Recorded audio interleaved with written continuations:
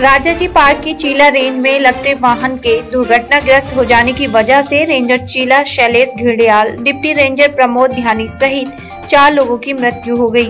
Ranger Chila, Shailesh Ghildiyal deputy ranger Pramod Dhyani के पार्थिव शरीर को अंतिम संस्कार के लिए खड़ी खड़ी शमशान घाट लाया गया, जहाँ पारंपरिक रीति रिवाज से अंतिम संस्कार करते हुए अश्रुपूरित विदाई दी गई।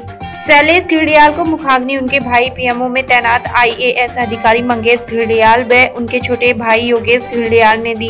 प्रमोद ध्यानी को मुखाग्नि पुत्र सार्थक व सन्नी ध्यानी व उनके भाई विनोद ध्यानी ने दी।